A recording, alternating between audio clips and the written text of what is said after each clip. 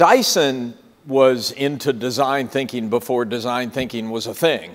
I mean, it, it, it's core to your DNA, right? Yeah, absolutely. I mean, I think before anyone coined the phrase design thinking, James was already in that mode and pretty much had been since the origins of the company.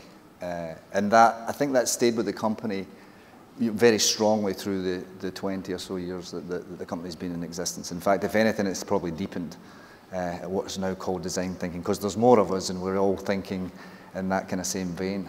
Um, did, did he hire a lot of designers from the beginning or yeah absolutely it? yeah. absolutely in fact a lot of the early people who joined the company were had gone through at the time in, in, uh, uh, in UK universities they were running design engineering courses um, that's became, that became less common going forward but in, in that point in time, we were getting design engineering course. So often people would do a, four, a four-year undergrad program in design and then a master's program on, uh, sorry, on engineering, then a master's program in design. And that was the nucleus of the company from which then it grew uh, pretty prolifically from there. Yeah.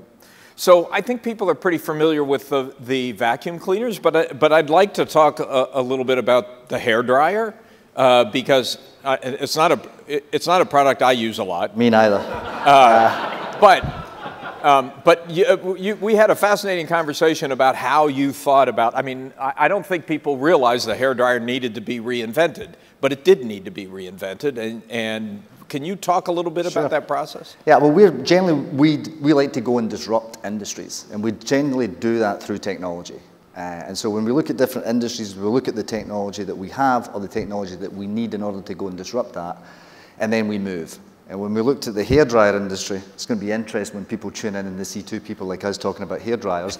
but uh, when we look at the hairdryer industry, we thought, here's a product which for 50 years really hadn't really been touched. Hadn't changed at all. Pretty much. And so, and they were awkward, they were noisy, and probably most importantly, they damaged hair. And so, like the whole DNA of Dyson is that we start at the very, very core of what's the problem that we need to solve for the customer. It's, it's not focused on design, it's not focused on, on um, the engineering aspects, it's focused on what is the but, core but problem. was it well known that hair dryers, I mean, do you think the customers were saying, oh my God, get us a new hair dryer? I don't know that the customers were, but when we looked at that industry, we said this industry needs changed. Yeah. And it was the same when we looked at the vacuum cleaner industry. I mean, within minutes of using a bagged vacuum cleaner, the, bag, the pores within the bag would clog up and you would lose suction. Now, were customers at that point screaming out and saying this is, this is a poor product? Not until we came along and said this is a poor product and there's one much better. And the same with, uh, with the hairdryer. So talk about what you had to do to make this work. So when we looked at the hairdryer, we said, okay, there's, there's certain elements to that. It's difficult to use, it's heavy, it's top heavy because most people got lazy and they take something like this, which is, which is an off-the-shelf motor, and they put it in the back of the, the hairdryer. And then they put a huge heater element in front, and they just blow air at high temperatures until it dries your hair. It damages your hair, it's awkward to use, and it's very noisy. So, that, so we, we decided we wanted to really reinvent that. And the first stage of that was to say, okay, let's get the motor in the handle.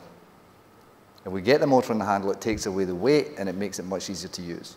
But, so, but you still, the handle's got to be small enough. Handle's got to be small enough. So the first thing we then did, back to the customer, back to the problem, we then measured over 300 people's hands from across the world. We've literally measured people's hands. We knew that a big demographic would women, would not be bald women. men. Not bald men. uh, I've, I've never asked a bald man to, uh, to, to, to, measure his hands, I'm glad to say. But um, so we measured lots of people's hands across, across the world. And we found out that the optimum size for the motor would need to be 28 millimeters. But in order to get the right pressure and the right airflow, which is about 14 litres per second that we needed from this, we then had to reinvent the motor itself. So we had to go from something this size to something this size.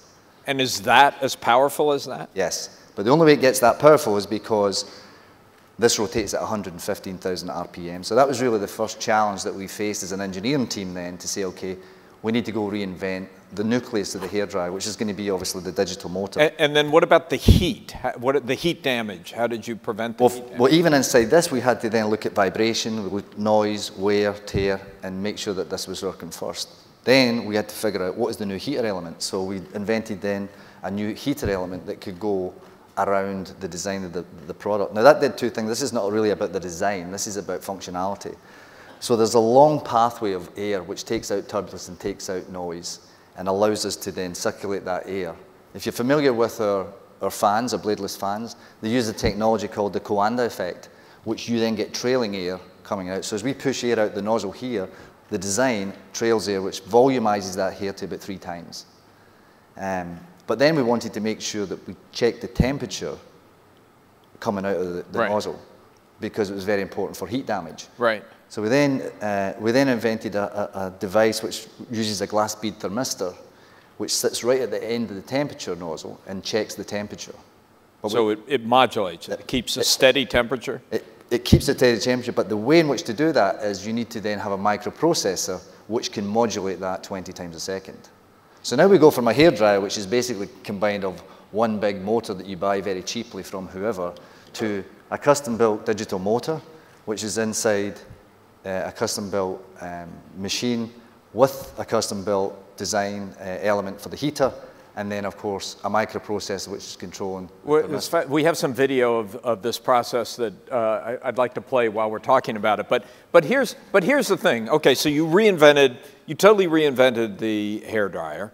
Uh, you got the motor into the handle. You got rid of the heat damage. But you put it on the market for $400. I mean, what did hair dryers cost before that? Yeah, I don't, I don't know what they cost before that because it's probably sometimes best not to look.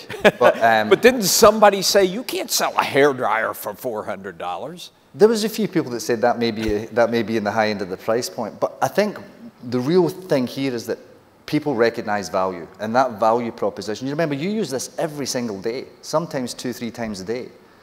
If you can say, so, so what we managed to do with the hairdryer was we made it lighter, we made it much easier to use, we yeah. made it much quieter, we made it safe, and we made it much quicker. So if you're drying your hair every day, six, seven, half, we get, we get reports up to half the time it normally takes in a normal hairdryer you can dry your hair safely with a Dyson because of the way it's been. So you put it on the market for $400 and what happens? Well, we put it on the market for $400. It was really our first foray into, let's say, the beauty sphere. Uh, predominantly, we had been in uh, domestic products and, and, and so on. Um, and that allowed us then to see the appetite for, for those products. Uh, and it's when you produce a product which adds real value to that customer, you see it come alive pretty quickly. So the sales took off. It's been a very, very successful product. Better than you thought it was going to be? Much better than I thought it was going to yeah. be. But, but, you know, I'm probably the, the, the, worst guy. I'm, I'm focused in on the design and the, and the, uh, and the manufacturing aspects of this. Um, when you look at how well that's going to do in market. I think the other thing here is what's happened in social media has allowed these products to take off on their own. If it's a good product and it resonates with that young demographic, especially uh, in, in Asia, which is one of our top markets for this, then the bloggers and the vloggers and social media takes over. And you actually don't need to promote it. The other area that you have, have really uh, uh, transformed is air purification. Can you talk a little bit about how you got to that? Sure. And again, that one starts at the core problem of what's the, what's the problem that we're trying to solve for the customer. And you can see in many countries around the world, the outside air um, uh, quality is pretty poor. and there's lots of applications now that show you that outside air quality. So we started to look really deeply at what that meant, not just about PM 2.5, which was the big, uh, the big poster child of that problem, but we actually took it down to PM 0.1, which is a much, much smaller particle size and actually much more harmful to a lot of mm. people than the PM 2.5. We took it then further into, uh, into uh, NO2 and nitrogen dioxide, which is, which is prevalent in where people live near busy streets and so on and we put lots of sensors into that, uh, that product. That then allowed our customers to see the benefits real time through the app. We then wrote uh, an application layer that put it onto your iPhone or your Android. You can device. actually watch the reduction in particles in your you air. See, and you know when it's safe, and that will, it turns green and lets you know. It shows you the outside air temperature or the air, air quality might be might be red. Yeah. Internally, you can then see in our app that it's green internally. We, we were talking about this yesterday, but you said you did have to tell some people to close the window. yeah, yeah, we don't purify the world. We tend to uh, have to do that within a confined space.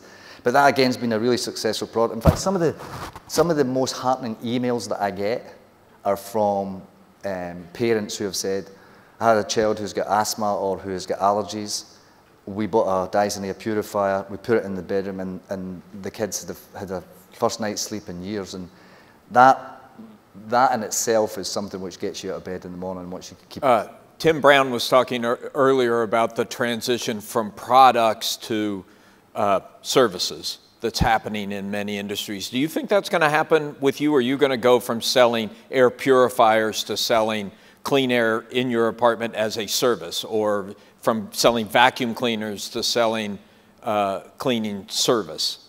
Yeah, I mean, I, th I, think there'll be many different business models that work for us. There'll be the, the, the, wholesale model that people buy either online. The other, the other big change, of course, we're seeing is that people are, are moving to the online channel and they want that information real time from the, from the manufacturers themselves. So we've built a huge online channel to capture that, that demand from our customers. We can explain our technology, we can explain our machines and the benefits much more um, uh, appropriately than some of the other channels that we would sell through. And in the same way, we can offer that as a service as well. If you want clean air, healthy hair, clean carpets and so on, clean floors, then a potential business model would be to offer that as a subscription service or as a, a, service model. Uh, can you talk a little bit about how you make design core to the culture at Dyson? And let's run that other video while you're doing that because I think it sort of illustrates the, the kind of workplaces that you've created. Well, we've taken it all the way back now. Uh, and this, this video here shows you actually our, our campus in the UK. This is the student campus that you see, the student accommodation. This is some of the young graduates that we've got. And just to explain, we're kind of designing the designer.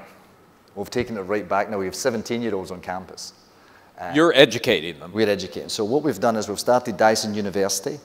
Uh, and what we do is we take in uh, undergrads. We have a four-year undergrad program, engineering program. Um, and they come in and they work for us. So they're actually employees. It's a very different degree than most. So they work for two days a week uh, on their academic studies. And then they work for three days a week on live projects within the company with real engineers, with real deadlines, with real problems to solve. And then after obviously that four years, they will graduate as a, as a fully fledged engineer. And how is that education different than they would get if they went to a straight engineering school? Well, first of all, they get that cross function between the different disciplines. Often in schools, and of course, ac academia trails industry, yeah, generally speaking, um, in some industries more than others, but certainly it trails it. So, what they get is they get that real time cross-fertilization between hardware, software, computer science, data, data analytics, all of that is happening within a real product. We're working, so they're getting that cross spectrum of learning, dealing with those different engineers, I think some of the best engineers in the world, on a real project and being asked to go and perform and, and actually contribute to those products themselves as, as undergrads. I don't think you get that in normal universities. Now, they work 48 weeks a year. They don't get the summer holidays off and and they, they don't have freshers week and all that stuff, but, um, but what they get is a really rich education. Now, at the end of that four years, there's no bond. They can go. We pay, we pay a salary, we pay their accommodation, we pay all the student fees. You pay a salary while they're going through school? Absolutely. Well, they're working for us, so we, they should get paid a salary. How many students have you put through this program? So we started it two years ago. We roughly have about 45 in each cohort, so we're two cohorts in. Uh, the third one will start soon. Now we're getting about 900 applications for 45 places. Really interestingly, because of the quality of those applications, we can actually force the fit. 45% last year were female yeah. in that course, which is about three times the national average for an engineering course. So we're able to do so many different things uh, because we now have control of that, that educational program. Fascinating. Yeah, and have, do you, are, are, they getting? Are, are people trying to poach them away from you? Not right now. I'm sure that may happen as they graduate and so on. But again, it's beholden on to us to make sure that we we keep them inside the tent, so to speak. But I imagine that some of these uh, some of these young engineers will will have a passion for starting their own business at the end of their their, their degree, and we we wish them good luck. As the, the only thing we would ask would be that they, they use that education and they use that environment to the betterment of the world by designing something which, which helps uh, in an engineering or a STEM sense. So uh, you revealed recently that you're working on an electric car. No, I'm not sure. Uh, yeah, we did. We did. Well, I, I, mean, it's a long way from hair dryers and air purifiers and uh, vacuum cleaners to a car. And, and, it's a pretty crowded marketplace. I mean, you look right now, and a lot of car makers are, well, obviously Tesla's struggling, but uh, car demand is falling. Why would you enter that market? It's actually not as far away as you might think. If you look at the core constituents of what is unique in EV, uh, what, are, what are the key components that you need to be to be successful and where can you differentiate and where can you disrupt? We actually have a lot of those constituent parts. So we've built over 60 million digital motors, which I think is more than probably anybody else on the planet. You learn a lot when you build 60 million of anything. Hmm. Uh, and we know the reliability, we know the, the metallurgy of that, we know the material science, uh, and we've managed to be able to use that to produce a digital motor which we think can outperform those that are available and kind of into the future. Battery and battery technology has been something which we've heavily invested in, especially solid state batteries and, and the next generation of that. Airflow, we're pretty good at airflow. Most of our products use it to some extent. Uh, and airflow is a huge part, both internally, you know, in terms of environmental control within the car, uses a huge amount of energy from EV, or you lose a huge amount of range if you don't have uh, the proper drag coefficients and so on uh, in a car. So we actually have and mechanical engineering is where we started. Um, a large part of the, uh, of the EV, of course, is mechanical engineering in itself. So when you put all those together, now it's a big, complicated project, but it's an engineering project.